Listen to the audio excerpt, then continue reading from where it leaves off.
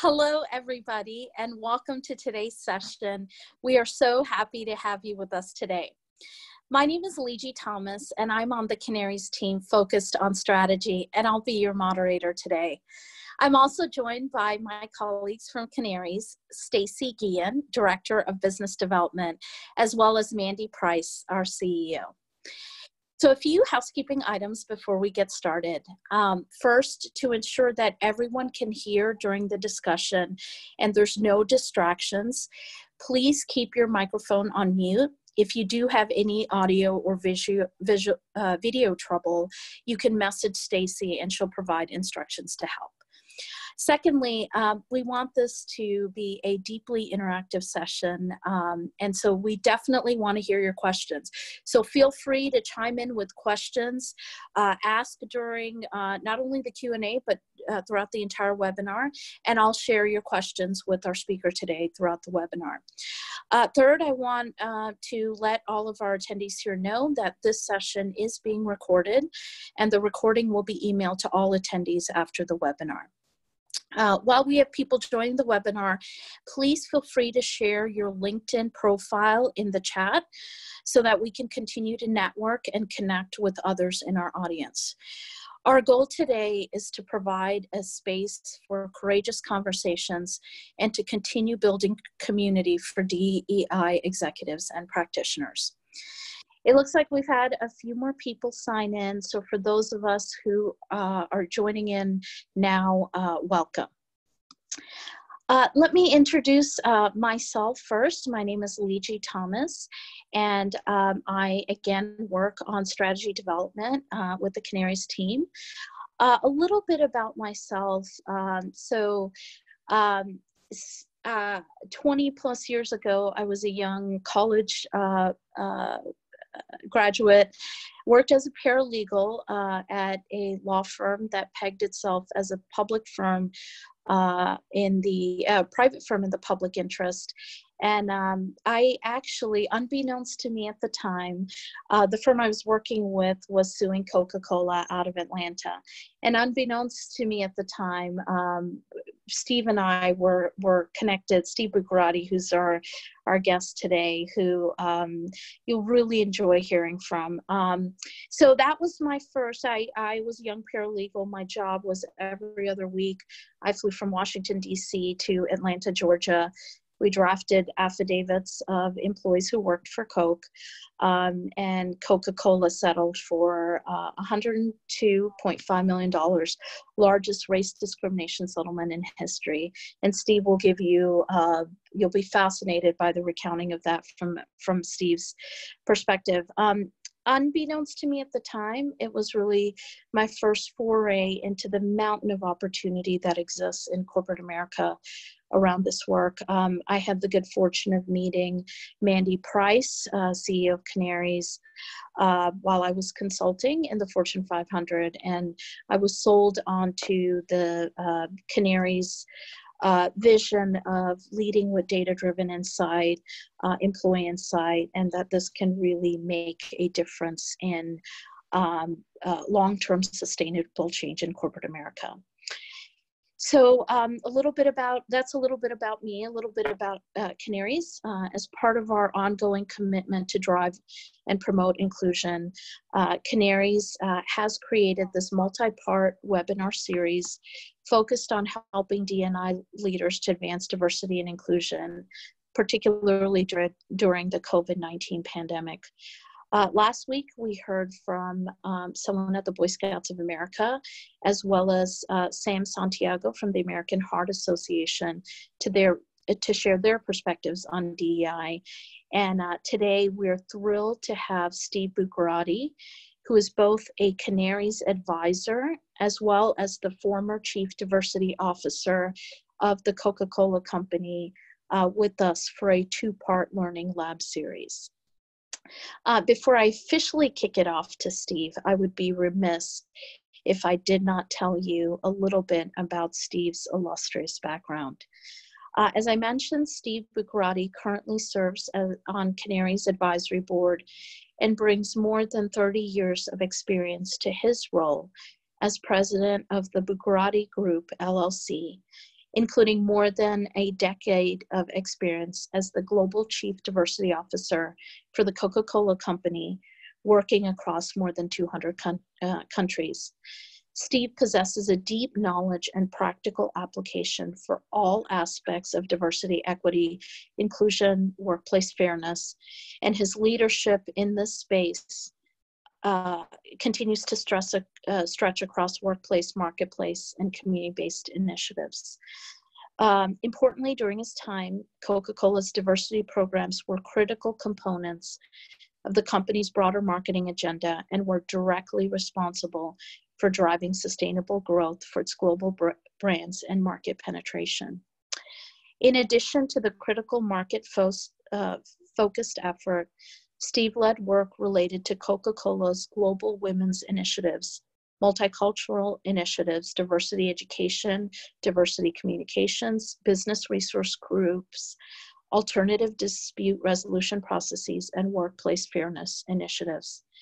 During Steve's tenure, Coca-Cola's diversity, inclusion, and workplace fairness practices were recognized by external organizations as best in class, winning numerous external awards and recognition, including the prestigious Catalyst Award in 2013 for its Global Women's Initiative, which Coca-Cola implemented across all 200 plus countries in which it operates.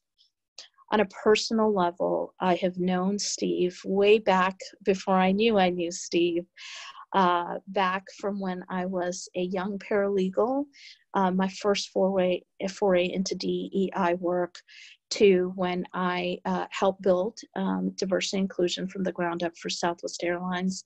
I know Steve to not only be a giant uh, of a person in this field, his thought leadership is um, uh, rivals the best of the best, but he's also a world-class human being um, who I have been privileged to call a friend and mentor in the DEI space. So it is with great pleasure that I turn it over to our uh, guest today, Steve Bucherati. Steve, take it away. All righty. Thank you so much, Lizzie, and, and thank you everybody for joining. Uh, that was a long introduction, and Lizzie was way too kind with that introduction.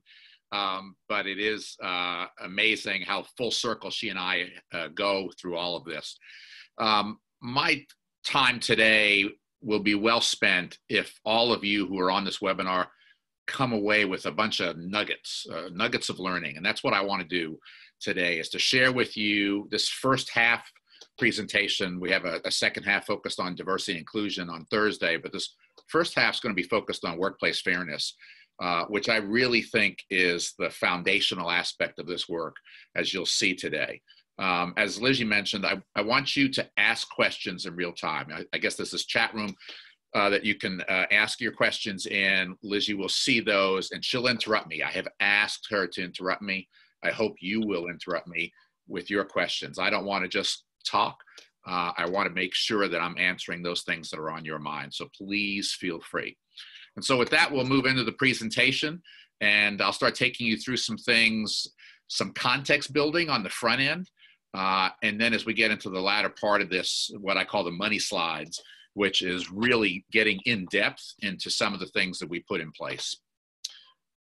So with that, let's start right here. this is not where any company wants to start, as you can see. These are the actual headlines that were in, you know, these major periodicals from the period of time that Coca-Cola went through its lawsuit. So uh, April of 99, as you can see, through November of 2000. Um, I was the head of human resources for Coca-Cola's global marketing innovation function. I was 10 million miles away from this um, and and had to experience it in real time because Coca-Cola went from being the company that everybody kind of went to, you know, your mom apple pie, your Coca-Cola, to this, where all of a sudden these headlines uh, were there, and, and people literally were stopping me in the streets or on the courts where I coached, the fields where I coached, saying, "I can't believe Coke's doing this." And so these were some very difficult days for us, and I'm going to kind of get into the the the meat and potatoes behind all this but this is where it all started this is real um, and i always start any kind of presentation with it because it kind of points out the gravity of the situation that Coca-Cola faced. So a few things again up front for context. What caused the lawsuit? There was a belief by people that our workplace was discriminatory. And I'm going to talk about that in just a few minutes. Um, this whole idea that management decisions were not equitable. You know, every day uh, managers are making discretionary decisions around employees. Every day, thousands of decisions are made. And there was a strong belief that they were not equitable decisions. Uh, it was uh, really believed in the organization that nobody cared, that nobody was listening to employee issues or concerns, that if you had an issue or you had a concern, you had no place to go with it. So it started out very simple. Four individual employees didn't know each other, had nothing in common. They filed four separate charges of discrimination with the Atlanta based uh, EEOC. Um, these were routine matters, and, and, and in fact, when you would do the uh, forensics on it, Coke probably would have won all four of those individually. Uh, that wasn't what mattered. The reality of it was is these four individuals were surfacing issues that were laying below the surface at Coke that were systemic issues of discrimination. And so these four separate cases of discrimination, somehow the four people got to know each other. The four people started talking. The four people said, hey, um, we should file a lawsuit against Coca Cola. And they did. And we'll talk about that in, in a little bit more uh, depth here in a minute. So, what did Coke do? Uh, Coke's mentality, the leadership at Coke at the time, um, just didn't handle this thing right. Complete denial. Um, the head of legal, the head of human resources, the CEO, everybody said, no, look at how diverse we are. And Coke was. If you'd walk the halls at Coke, it was incredibly diverse. Uh, but we'll talk about why that doesn't matter at the end of the day in just a second. So Coke went into this bunker-like mentality, and uh, and as you can see, here's what happened: 20 months of pain, press, and polarization in the workplace. It was it was god awful work environment, and ultimately the largest cl- class action lawsuit settlement in corporate American history to this day. $192.5 million. $192.5 million didn't go to share owners didn't go back to marketing, didn't go any place, um, but to the litigation. So very difficult period of time. So there was this task force then that was appointed by the federal court to oversee our litigation settlement. Litigation settlement is in the public domain. You can read it for yourself. It's pretty thick, but it points out all the things that Coke had to do and uh, and this uh, group of, of seven people they were a who's who in this space. The group was chaired by alexis herman who had been bill clinton's secretary of labor. It included folks like the former head of the eoc the former head of the glass ceiling commission et cetera. Really a who's who. And they were appointed to a four-year term to oversee what we did. Ultimately in, in kind of a weird story we asked the court to keep them in place for a fifth year. Um, because we found them to be incredibly helpful as we collaborated on what needed to happen at Coke. And so uh, this group was um, empowered uh, to oversee what we were doing. We met every four to six weeks for five years. They came in, looked at everything that we were going to do, everything that we said we wanted to do, and uh, and they decided whether that was going to be up to speed or not, and, and whether that was going to work or not. It was really fascinating uh, experience. But fortunately, all seven people were very collaborative. They came in with the right agenda, uh, and we worked very collaboratively to make things work at Coke.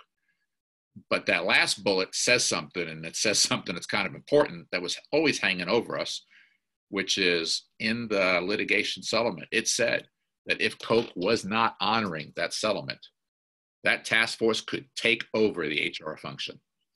Could take over. They could hire whoever they needed to. They could do whatever they needed to to make sure that settlement was in fact being uh, followed to the T. Let me stop there just for a second, make sure there's no questions before I move on to the next slide. All right, so this is Cyrus Mehri. this is Cyrus, uh, who was class counsel, who Lizzie worked for when she first started coming out of school. Uh, and and Cyrus, when the when the lawsuit was settled, the CEO and the CHRO at Coke uh, came to me and said, "We want you to fix things." that was the job, fix things. I said no, thanks so much. I have the best job in the company. I don't have a background in this. Uh, this is a horrific time to come in. Uh, and then to my own naivete, I said, by the way, you've all noticed I'm a white guy, right? And uh, I'm not sure that's exactly the profile we need right now. Uh, they thanked me for my perspective. They said, you don't get a vote. Uh, you're drafted. You're going into the job. So the one intelligent thing I did do was a couple weeks after I went into the job, I had lunch with Cyrus. Cyrus, a very honorable individual, good guy, does this for all the right reasons. We are to this day close colleagues. I will have conversations with him and vice versa because he doesn't do this. He's, he's not what I'll call an ambulance chaser. Okay. He does this because he really cares about what's going on in corporate America.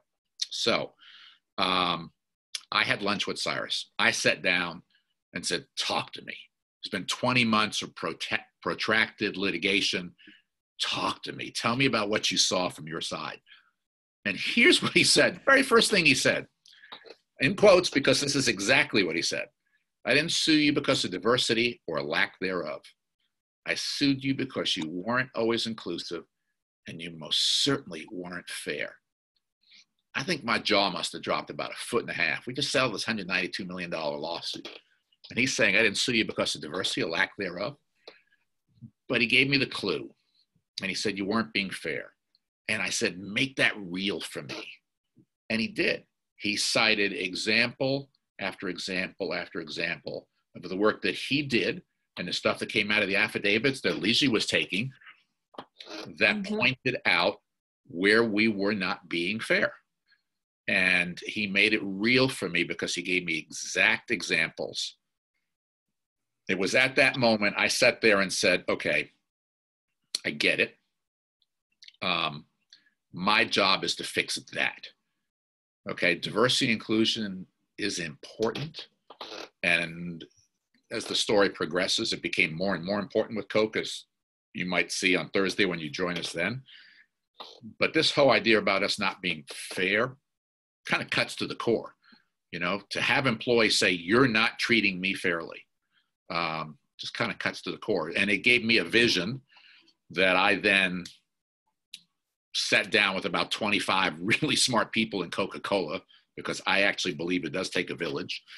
And, uh, and I surrounded myself with a bunch of people and said, I want you to help me figure out how to make things fair at Coke. So that's a little bit of context with Cyrus. And now I want to talk about how we actually got it done. But let me stop for a second and make sure there's no other questions from participants about any of that context, anything tied to the actual litigation or anything tied to my conversation with Cyrus. Um, Steve, there is one question. Um, what did he mean by not fair? So I'll, I'll, read a little bit into this. What does what did Cyrus mean yeah. by not being Coke not being fair? So let me give you a couple of examples. Hopefully, this will clarify for you.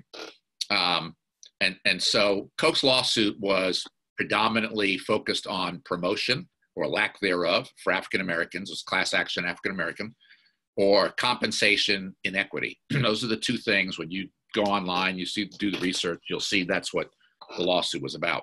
So I said, Cyrus, make it real. Cyrus said, Well, Steve, I, I started looking at jobs that you filled at Coke. So I would pull an, a, a, completed job folder, you know, back in the days when we actually had folders. And he said, I'd, I'd look and I'd see 10 candidates up for a job. Uh, four of those candidates happened to be African American. Uh, three people were interviewed, and one person was ultimately selected in that 10 to 3 to 1 funnel, the four African Americans fell out. Okay? They fell out of contention, weren't even interviewed. And he did what all good lawyers do he asked why. And Coke couldn't answer. Coke could not show why the African Americans were differentially less qualified than the people who were interviewed. And he said, I thought that was kind of curious. So he pulled another folder and looked at another job, saw something real similar, kept pulling folders, and ultimately he saw a pattern and practice of African Americans falling out. He, and he kept asking Coke to defend itself, and Coke could not. So he said, I had you. You were guilty by default. I claimed you were discriminating. I didn't know if you were or not, but you couldn't show me you weren't. I had you. You were guilty by default. And he did the same thing with compensation because he said, I would take a look at bonuses. For instance, I'd see an African American and a white employee. They seemed similarly situated employees, same job, same level performance. And the white employee had a 20% higher bonus than the African American employee. He asked why, and we couldn't defend it. And he saw a pattern and practice there. So when Cyrus talks about fairness, those are the examples that he made clear to me over lunch that day. And that's what he meant by fairness. That given uh, given the, the the way the process should work, it wasn't working, and in fact, it was discriminating against African Americans. I hope that answers that question. Uh, are there any other, Liji, before I move on? Uh, none so far, Steve. Uh, thanks for the questions and keep them coming. Okay, great. So how did we get it done? So again, we learned that the issues were beyond diversity. Again, people are telling us, look, programs aren't accessible. And what do people mean by that? Well, some people knew about some of our programs and lots of people didn't know. Uh, people knew about development programs and lots of people didn't know about development programs. People knew about uh, potential uh, assignments, short term assignments, other people didn't. And it turns out that African Americans were folks who were not in the know about a lot of these programs and practices the Coca Cola Company had. As I mentioned earlier, there was a strong belief that issues weren't being heard, let alone acted on. But as you can see from a fairness perspective, it was about the inequity, particularly on promotions and compensation, that drove the Coca Cola litigation. So we started with less than optimal conditions. I go into the job in early 01, um, fix it job. I have no job description. I got two vacant positions that report to me, and we start. And uh, here's the reality you know, we didn't know whether we were discriminating or not. And that all by itself is core to this whole discussion. We didn't know what we didn't know. We didn't know if we were being fair or not. We didn't know if we were being inclusive or not. We had no way of knowing because we had no way to measure that. And the reality of it was, is Coke was absolutely discriminating. I went and did work, forensic work afterwards, and uh, studied the original litigants and the original class action. We were absolutely discriminating against African Americans. And so I did what you know you would expect. I looked at promotions, looked at compensation, but you know I got a, a, very broad background in human resources. I've been a career HR person for most of my life, not all of it, but most of it. And so I went to the head of human resources and said, I want to study performance management. She said, Why? I said, I have an underlying belief that performance management may be the linchpin to this whole thing, that it might be the cause of what's going on. She said, No, don't do that. You can't do adverse impact studies on performance management. I said, Why not? The first time she'd ever said no to me. Uh, she said, You're not going to like what you find there. Every performance management system discriminates. And I, again, my jaw probably dropped a foot and a half she ordered me not to do the work.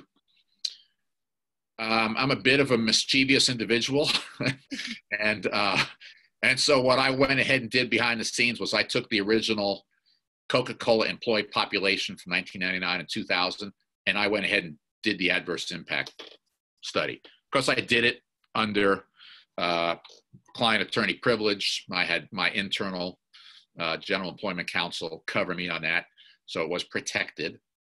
And here's what we found uh, we had, and for those of you who understand about statistics, okay, there's the whole concept of standard deviations. Two standard deviations means what? There's better than 80% chance that you're discriminating and the company has the burden of proof to prove it's not. Okay. Uh, three standard deviations, about 95% chance you're discriminating. four standard deviations, about 99.9%. In fact, four, to put it in English, four standard deviations means it can happen randomly once every 400 million years. So you're discriminating, okay? Let's put it in real terms. Well, guess what? Coke had 12 standard deviations when it came to performance management, 12 standard deviations against African Americans. And guess what that caused? That caused everything else to fail. That's why we weren't promoting African Americans, because we weren't evaluating them fairly. It's why their compensation was off, because we weren't evaluating them fairly. It's why they weren't being moved into our important uh, assessment and development programs, because we weren't evaluating them fairly. So this is where we started. Absolutely less than optimal conditions. So, how did we recover? Is the next general question. And I'm going to get into the detail in just a minute. Uh, one of the things that Coke did, which was really smart, and it was in the litigation settlement, you can read it, is that we said, look, you know, we are Coke. So we're going to become the gold standard. Nobody knew what that meant. Not us, not Cyrus, not the task force, not the litigants. But we said we're going to become the gold standard. So we put a stake in the ground, which was really important. We didn't hide from this. My mental model was let's start where we should start. Let's look at the four P's. Let's look at our policies, processes, practices, and programs and see what exists there. It's what my team and I do today with all of our clients. We always start with a company's policies, processes, practices, and programs to see if there are issues there because typically companies got good policies, but the processes go askew or the mm-hmm. practices go askew. So we had to do extensive review of these four Ps. We, uh, we put an ADR in place, uh, and I'm going to show that to you in just a couple more slides. Um, and we built this workplace fairness practice. The key to it is what I, you'll see there in bold is that the whole idea behind the workplace fairness practice was to put something in place to surface, diagnose, and resolve issues before they became issues. I wanted hey, to. Steve, can yeah. I interrupt you? There, yeah, we please. have a question. Great, fire away. Um, your question is Were there any consequences for doing the adverse impact study when you were ordered not to? That's a great question. No, I didn't get fired, uh, is the good short answer. I literally walked back into the CHRO's office, and I believe in begging for forgiveness. And I walked in and said, I violated your edict and I'm coming clean. I did it under attorney client privilege, but let me show you what I found. And she was aghast. I mean, you know, she knew that there's always discrimination performance management systems, so she told me. But to understand the level of how we were discriminating blew her away too. And she said, I'm glad you did it. Thanks for violating my order and go do what you need to do. And from that moment on, I mean, she was the best supporter I could have ever had, uh, an enabler, made made sure that I had everything I needed to to move forward. So yes, I didn't get fired. That's the important part. So, um, and then this last bullet is uh, we decided up front that we had to communicate. Uh, Coke as a company is successful when it communicates well. And Coke, when it has failed in whatever field, it's failed because it didn't communicate well. So my focus was we need to make sure that whatever we're doing, we got to communicate it both internally and externally because we knew everybody was watching us inside and outside. We were in the fishbowl. So now I'm going to take you through how we did it. And as I go through this, again, fire away the questions.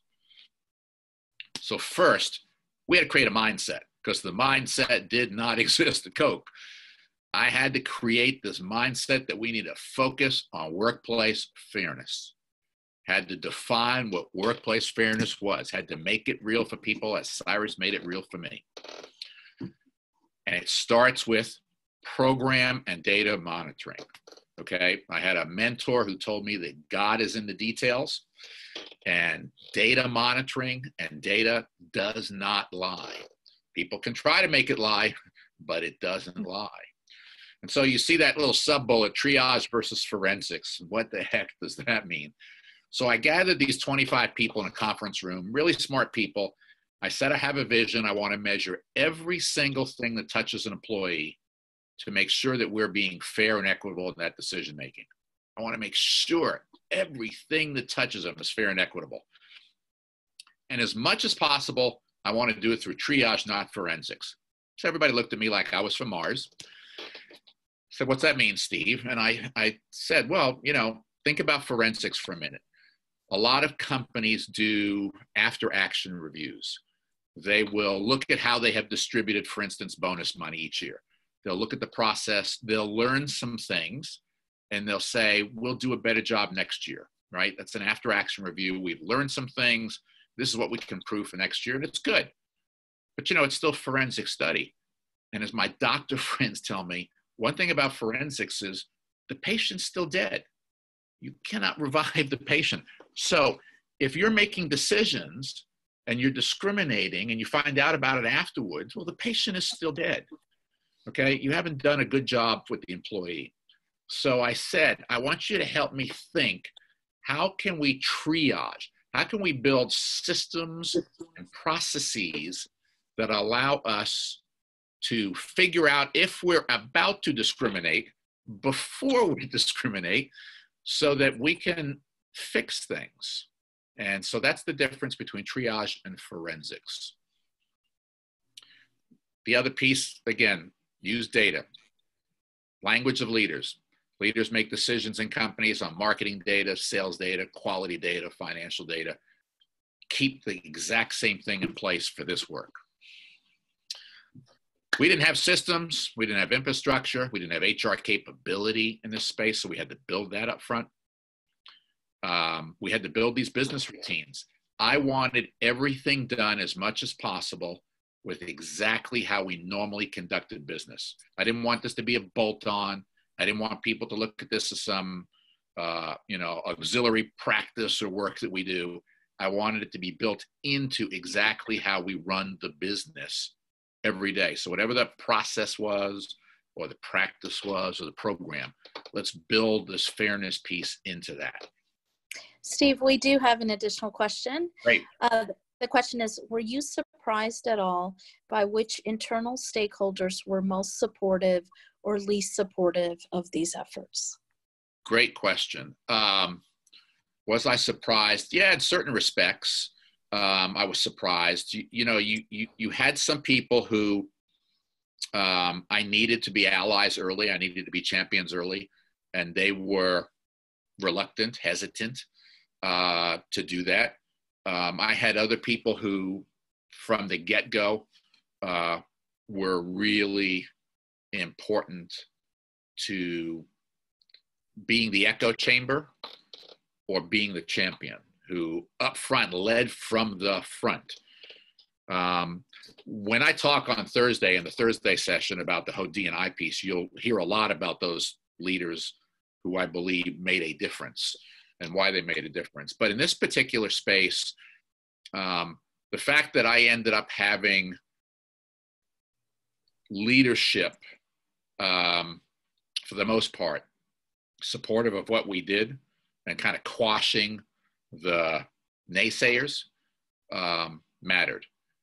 And ultimately, as we did the work in year one, we quieted the naysayers because as we would, through triage, find potential problems. Okay, and I'm going to go through this in detail in a minute, so hold tight. Um, they would learn, God, you have protected me. You have saved me from potentially doing something discriminatory. And so the naysayers ended up joining the bandwagon on this. But thank you. Great question. So, last couple bullets there. Um, really important to create the metrics and reporting routines. We put a serious metrics routine in place and a serious reporting routine. And from that time on, the executives would not move forward with what we did programmatically or process wise without first checking in with my function, my team, to say, will you give us the go? Are we okay to move forward? Because we kept them informed at all times. So, very important. And then again, the communications piece was huge. So, you know, it was uh, uh, foundational to our success. So now I'm getting ready to take you through the the detail. So here's a really busy slide. I get it, but this is this is the money slide.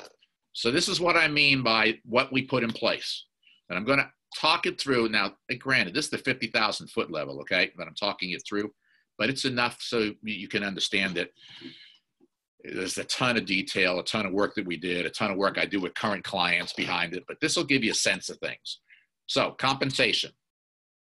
Coca Cola has annual merit increases, uh, annual bonuses, short term incentive, annual long term incentive, stock options, stock grants, things like that. The way we built this in was we had all of the proposed awards were all fed into the compensation function, who then fed all of that data into us, and we did the analytics behind it. We did the uh, the the regression modeling uh, to find out if we had any group that was being discriminated against. So we would compare men versus women, white versus non-white, and every subsegmentation. How did Hispanic females do versus white males, et cetera, et cetera. We could study it by group. We could also learn if we had individuals who were popping because it looked unfair. Back to the example of Cyrus. If somebody looked out of whack with a proposed bonus, their name would pop. And it allowed myself and General Employment Counsel to then go to the individual manager and ask the Cyrus question why? Why is Lizzie looking like she's going to get a 20% lower bonus than Steve, even though it looks like they're the same employee, same background, same level of performance, et cetera, et cetera, sitting in the same job? It allowed us to ask that question on the front end before decisions were finalized. So, really important that we started doing this with all the comp. Plus, then we did an annual pay equity study. Every single year, we looked at every single employee's base pay, and we did the same kind of regression modeling and studied uh, base pay. And if we saw issues in any of this, we fixed it. We automatically fixed it. So if Lizzie was 20% lower than me and it was not defensible, okay, the reason wasn't defensible, we'd say, mm, not going to work, and we'd automatically move her up to the same level as Steve. So that's the compensation side. Talent acquisition is a little different animal, very hard to do triage, but we did these weekly reports. So I had a report that came to me every single week, popped on my computer every Monday. It showed me what the demographic breakout was candidate pools, interview pools. Uh, it broke it down by you, you name it, with sliced and diced by function, by grade, uh, all kinds of cuts. And I could see what was going on inside the organization. And if something looked out of whack, for instance, if the interview pool for positions in finance, certain positions, it was 25% African American, but the selection was less than that, and I mean substantially less than that, then I could go and ask the questions of what's going on in talent acquisition and start looking at jobs, much like Cyrus and Lizzie did all those years ago. Then we take a look at it in a monthly aggregate. And the really critical thing that we did was triage, was the senior level review. So we said every job, director level and above, uh, you don't own the job. Whoever you are, uh, let's say you were vice president, you had a director, a marketing job open, you don't own that job by yourself the senior leadership owns director level and above jobs. And so we're going to have you uh, talk about the candidates that you want to put on uh, in for consideration. And we're going to talk it through as a group. And we're going to make a group decision about who should go in there. And I was in the room all the time talking it through with them and giving them the data, et cetera, et cetera. So we tried to cover talent acquisition best way we could, uh, even though it's not all triage. Performance management, we actually obviously had to get on top of that 12 standard deviations of discrimination. So same thing, all the proposed uh, ratings for every single employee came into the organization who fed it to my team. We did regression modeling. If we saw anything out of whack, again, either by group, you know, black females versus white males, or by individual, uh, we could go to the function and figure out what was going on. And again, if it wasn't defensible, we would make changes. Uh, same thing with talent management. So the Coca-Cola company had, like many companies, very sophisticated succession planning programs, very, very sophisticated assessment and development programs. This is how we evaluated key talent uh, for upward movement, particularly into leadership roles. And so every year there were nominations for succession planning and nominations for these programs.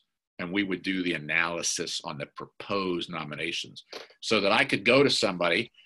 And here's an example where I went to our CEO one year when it came to nominations for succession planning. Coca Cola had, uh, like many companies, you were ready now, you were deemed to be ready now for a position, ready in one to three years, or ready in four plus years. And when we did the analysis, we said, hey, this is uh, interesting. Uh, only 11% of the ready nows are women, uh, and only 8% are people of color. Not much more in one to three, and not much more in four plus. Companies fill jobs in a ready now world. Uh, you don't say Lizzie will be ready in three years for this job. The job's open today. Let's put Lizzie in the job. Probably not good for the company or for Lizzie.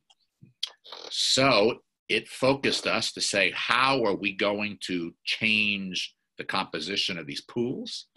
How are we going to accelerate the development of individuals so the pools represent the population inside the organization?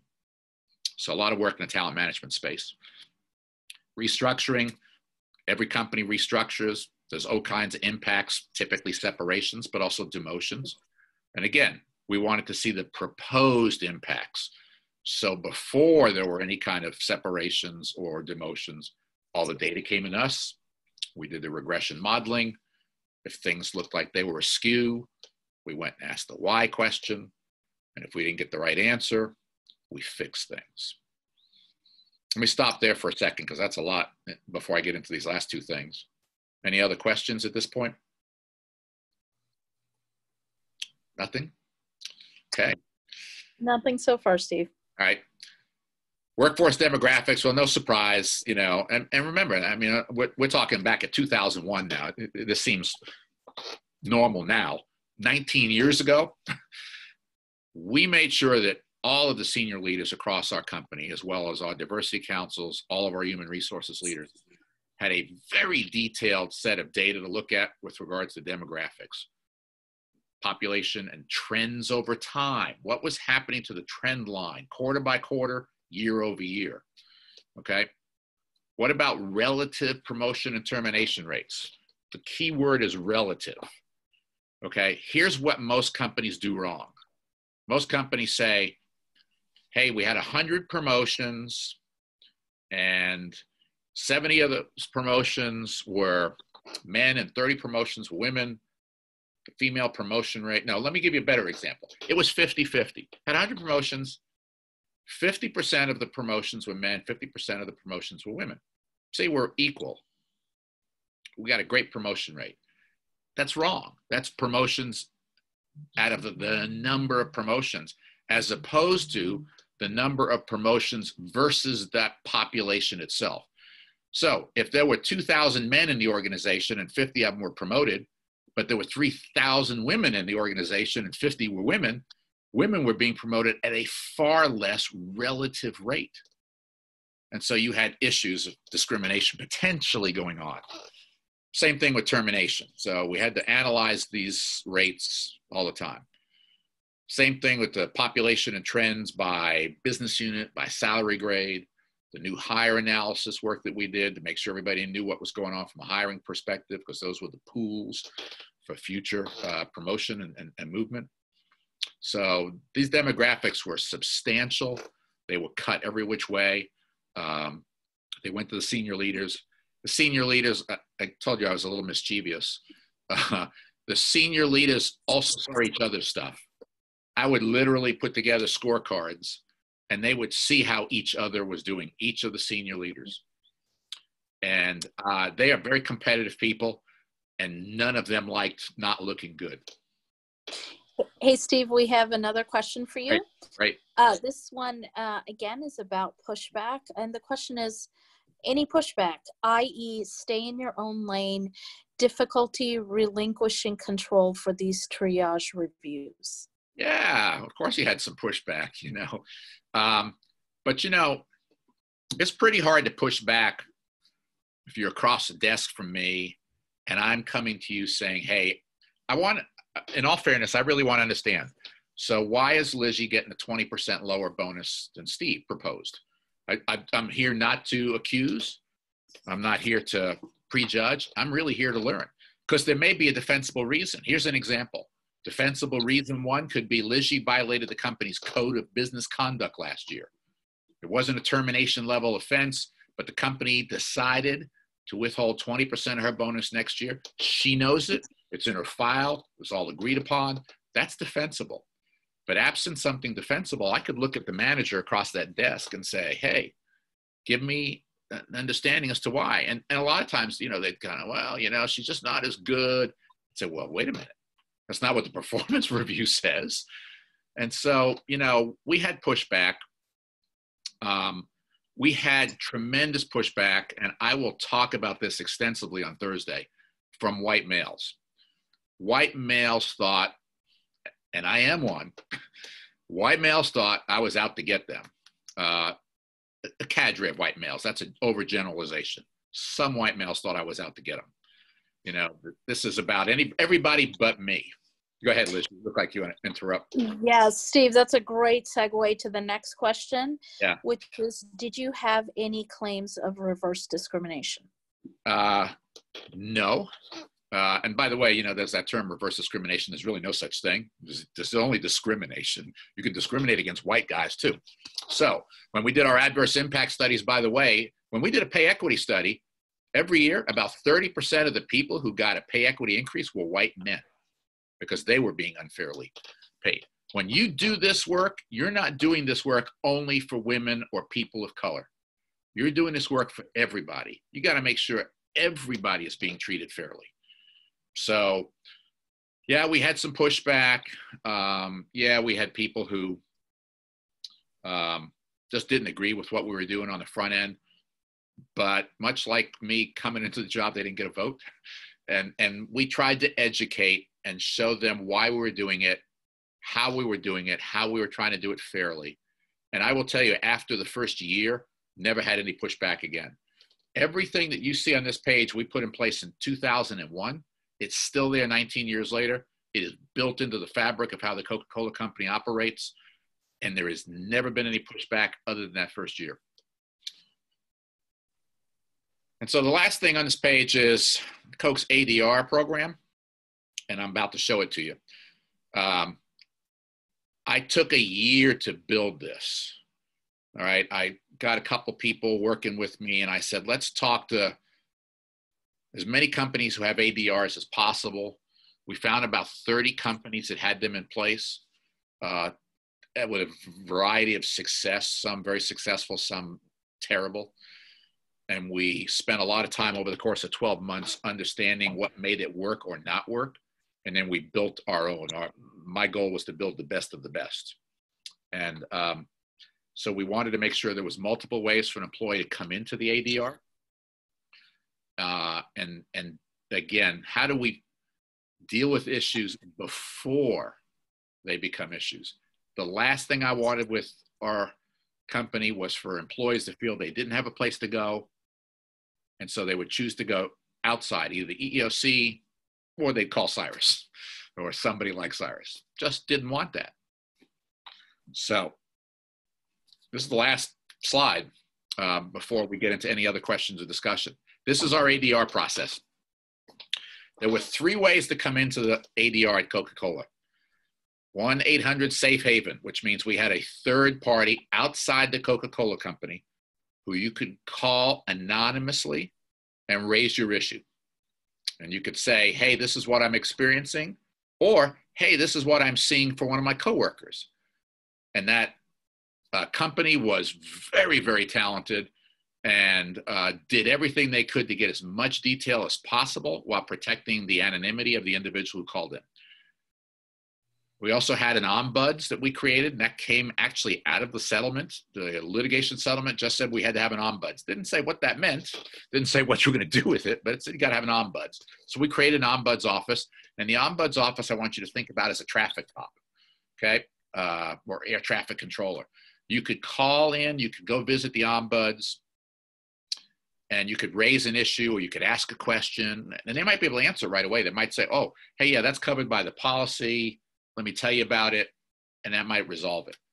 Or they could then say, mm, no, this is where you have to go to get this issue resolved. And so the thing on the far right was what we called uh, the solutions program at Coke. And it's multiple steps, and I'll take you through it in a second.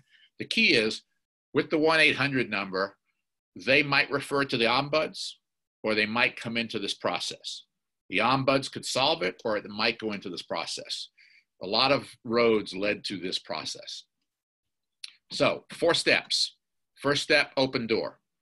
Okay, where we said to employ the best way to resolve an issue is to resolve it at the lowest possible level. And we think that means spending time with your individual manager trying to resolve the issue. If it's not resolvable with that manager or that manager is the issue, take it up another level.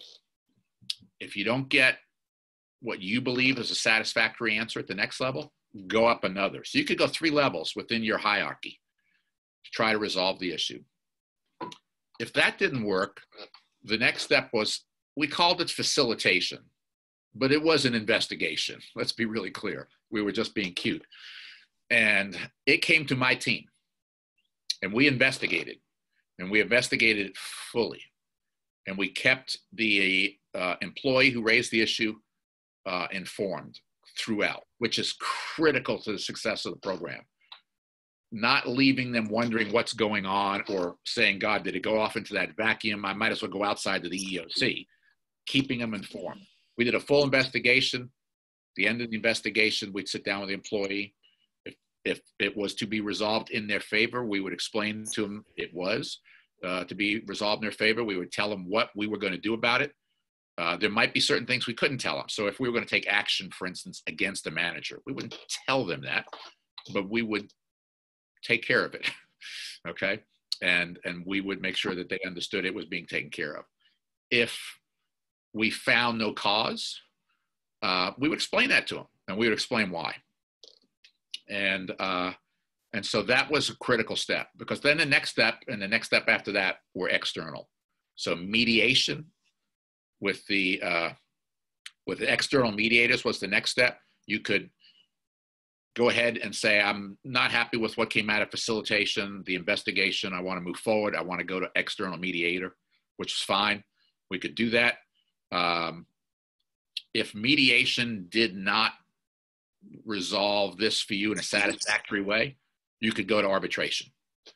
And in arbitration, uh, it's exactly what a lot of you know. It's external, third party, typically retired judges, uh, and both sides would present their cases, and then the arbitrator would rule um, one way or the other.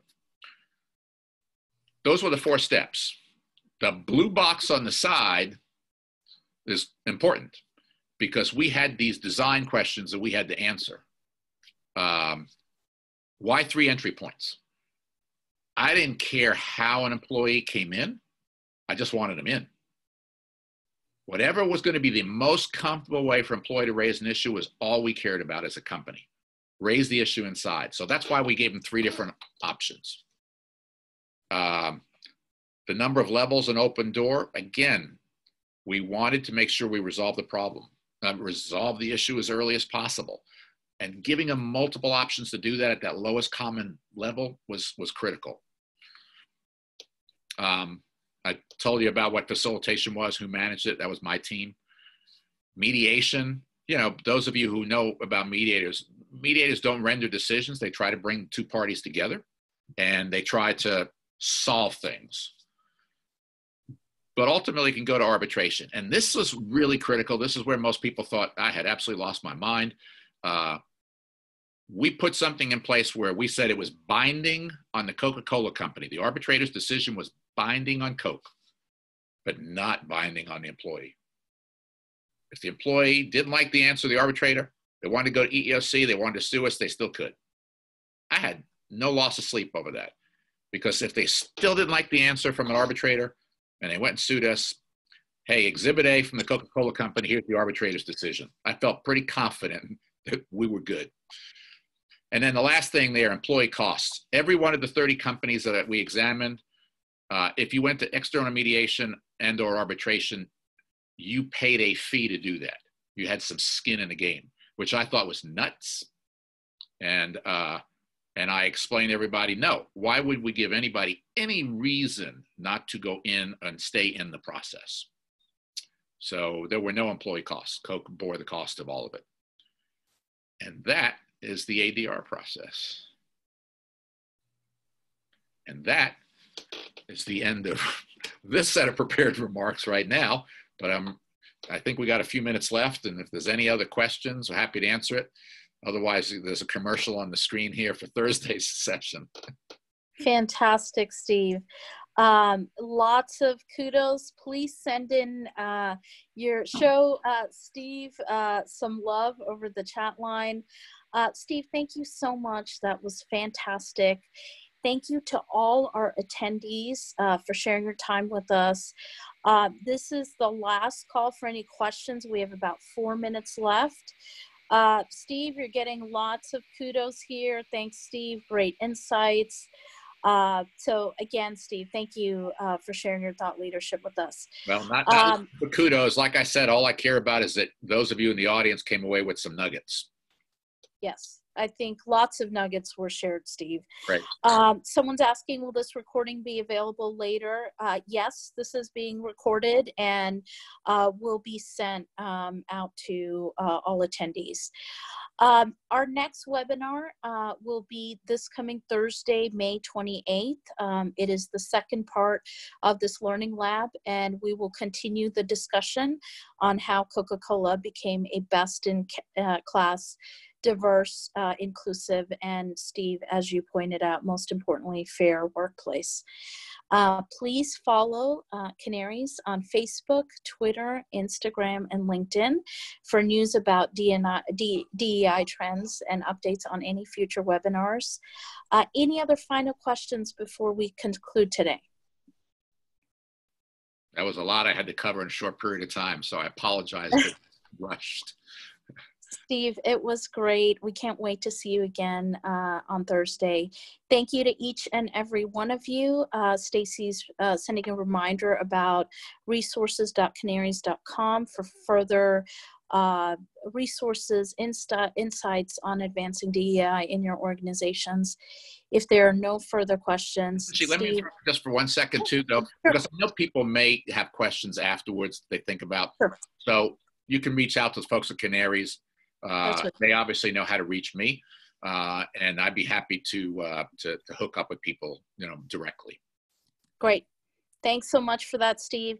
Thanks to each and every person that attended. Um, and everyone stay safe and healthy, and we'll look forward to seeing you again on Thursday. Thanks so much, everyone. Thank you, Steve. All everyone, right. take care. care. Have a great day. Thanks. Bye. Bye.